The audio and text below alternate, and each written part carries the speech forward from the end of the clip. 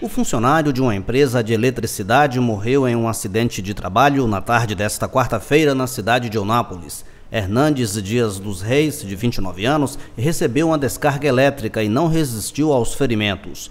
Um médico do SAMU afirmou que quando chegou ao local já o encontrou morto. No local, a rua Ubatuba, no bairro de Naborges, um gerente da Engelmig informou que a empresa só iria se pronunciar após a conclusão das investigações acerca das causas do acidente. Alguns moradores ouvidos pela reportagem disseram que a Engelmig executava um serviço no local desde cedo. O acidente teria acontecido durante o procedimento de instalação de um poste de concreto que estava sendo içado por um caminhão Munk. O funcionário estava no solo, segurando o poste, que acabou atingindo cabos da rede de alta tensão. Radar 64, 10 anos com você.